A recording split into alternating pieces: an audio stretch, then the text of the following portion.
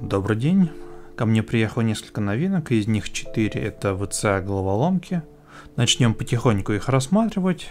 И первым будет X-Men 4 на 4 Ambition. Саббренд компании Chi. Такая интересная коробочка. Белая, лаконичная. По бокам вообще ничего нет. Здесь картинка. Ну, здесь всякая техническая информация. Код товара XMD 007.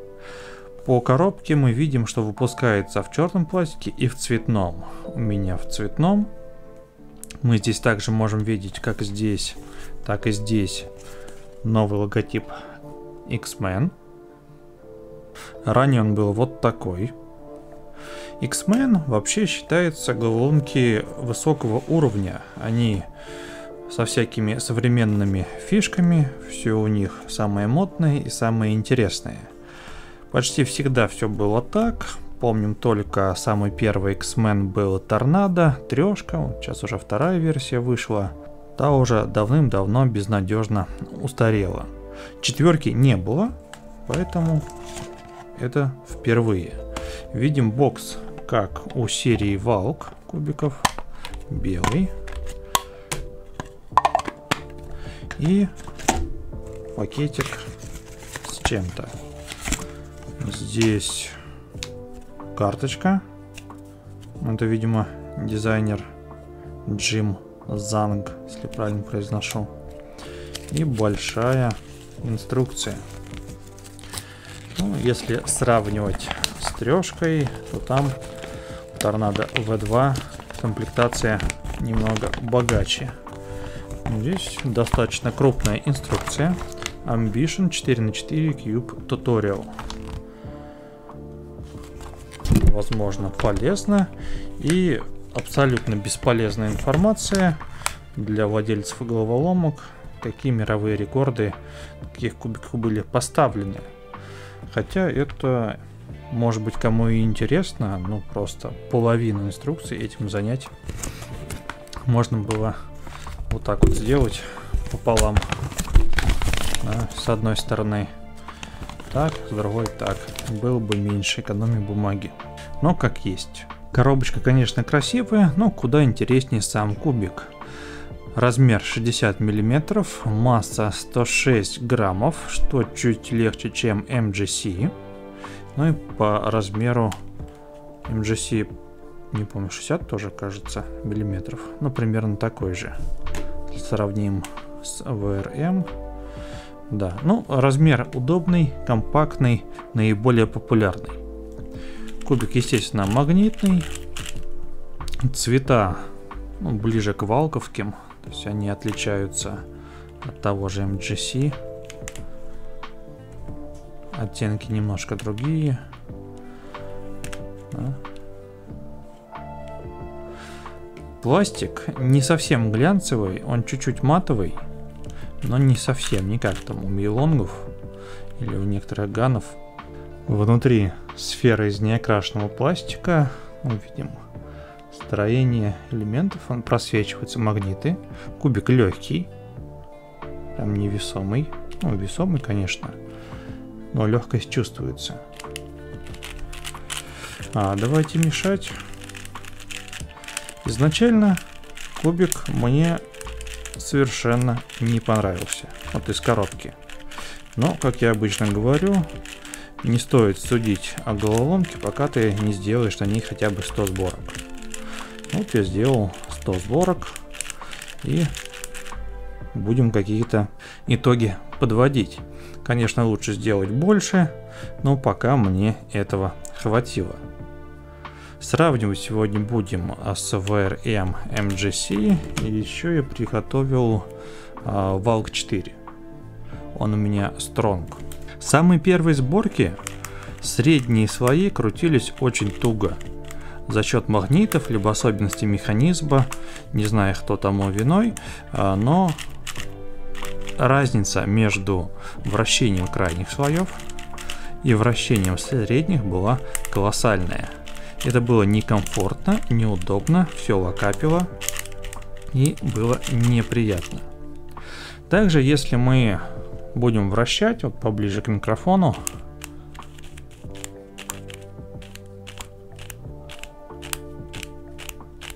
Щелчки при вращении средних слоев постоянно. Либо где-то магнитики неплотно подходят. Это особенно здесь. Либо это просто особенность кубика. Но такой момент есть. Дальше. Крайние свои. Даже после того, как стабилизировалось вращение внутренних, крайние относительно внутренних очень ну, слабо контролируются. Магнит это есть, но их явно недостаточно. Давайте сделаем одну сборку, чтобы было видно, как это все работает. Соберем белый, желтый. Так, далее. Я вот специально э, перед тем, как тестировать Ambition, амбицию, э, на MGC открутил несколько сотен сборок, чтобы, ну, вспомнить, как 4 на 4 собирается, давно не тренировал, и чтобы было удобнее сравнивать. Красный. Ну и понятно, что MGC, конечно, фаворит.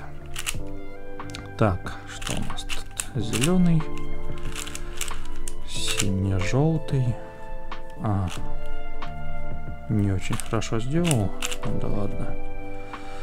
Зелено-красный. Так, и вот так. А, немножко напутал с ребрами. А, еще раз. Так, ребра собраны. Переходим к этапу 3 на 3. И здесь вот основные это проблемы и начинаются. Да, на этом кубике я показал время сопоставимое с нормальными головоломками. Сотка получилась в районе минуты, что ну, мое некое среднее время. Стараюсь, конечно, держать меньше минуты, но не всегда так бывает. Я очень ценю такой показатель у головоломки, как комфорт вращения – при вращении кубик должен приносить удовольствие, ее должно хотеться вращать. Вот если мы возьмем MGC или тот же VRM, у них с этим все хорошо. Крутишь и наслаждаешься. Концентрируешься именно на сборках, а не на вращении деталек. Здесь же можно крутить быстро, можно собирать хорошо, но именно вращение крайних слоев конкретно меня не устраивает. Слабая фиксация, то ли слишком облегчили детали, то ли слабоваты магниты на крайней свои, либо слишком сильные на средние, не знаю. Так вот, если отдельно повращать, вроде бы не такие уж и сильные магниты. А здесь вроде бы они тоже есть, но контраст наблюдается, и это мне не понравилось. Давайте паритет какие-нибудь провернем. Из подобного вращения и во время сборки у меня случаются локапы. Я не говорю, что кубик откровенно плохой, но вероятно он не подходит под мой стиль вращения.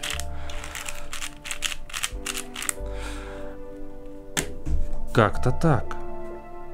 Я вот на данный момент не могу его кому-то рекомендовать. Да, это первый 4 на 4 от X-Men. Да, он не особо дорогой, хоть и дороже MGC. Если бы из него убрать ненужный а, дорогой бокс, а, большую портянку с инструкцией, возможно, он стоил бы дешевле. В нем нет э, регулировки магнитов, каких-то хитрых настроек пружин, чего-то еще, каких-то особых фишек. Это просто неплохой магнитный куб с некомфортным вращением внешних слоев. Мне он не подходит.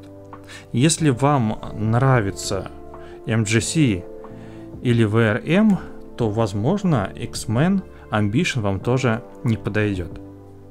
Но если вы любитель Valk 4, я вот специально его достал, он стронг, конечно, магниты сильные, и вот внутренние слои конечно, гораздо сильнее фиксируется. Но здесь, как мне кажется, нет такой сильной разницы внутренние и внешние слои, вот фиксации их. Ну, мне Valk 4 тоже не очень подошел из-за, ну, наверное, все-таки сильных магнитов чересчур. Надо было брать версию облегченную. Чем-то этот кубик мне напомнил Вукуе. Самый-самый первый Вукуе, который не магнитный, естественно, был для своего времени кубиком отличным, но, естественно, не магнитные кубы давно не актуальны. Вот этот чем-то на него похож. Вот именно вращение крайних слоев вот, почему-то мне вспомнилось. Хотя от Вукуи от первого эмоций положительных было, наверное, больше. Кубик неплохой, но не такой, как ожидалось. От X-Men хотелось чего-то прям отличного. Такого, что вот, это теперь мой основной куб, уходите остальные мои четверки, а, я буду крутить только на нем. Нет, я, наверное, докручу на нем тысячу и поставлю на полочку, если ничего не изменится.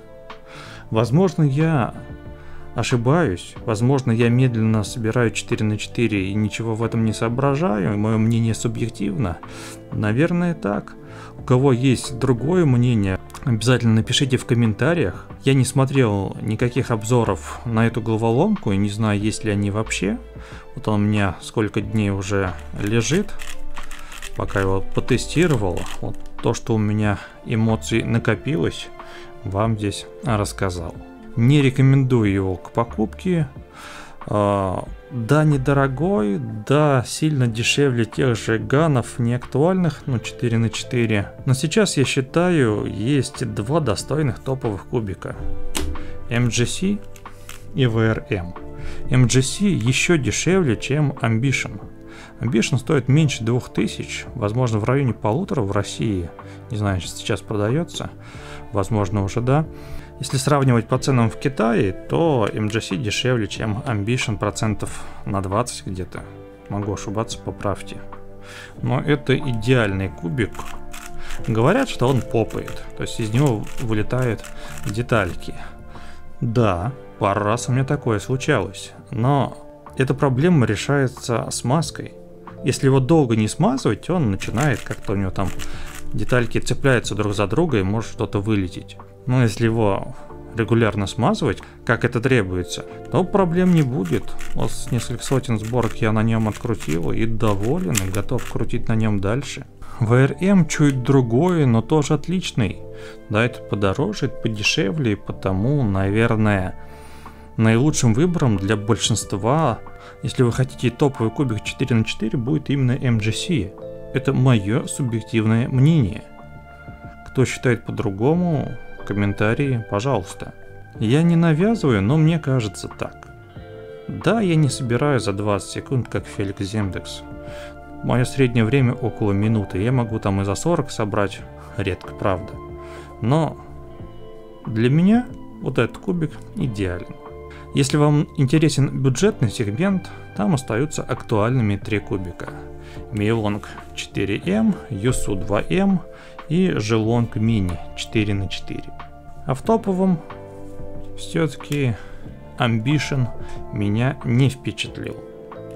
MGC наше все. Но докручу, может что-то изменится, возможно я не прав. Остальные головоломки Торнадо V2, Даян Жанчи Pro M, Squire MGC будут тестироваться, пока практически не крутил, так что рассказать о них что-то хорошего либо плохого не могу. На трешках минимум 1000 сборок, на скваре посмотрим по настроению, протестирую и поделюсь впечатлениями. А на этом у меня все. Всем спасибо, всем пока.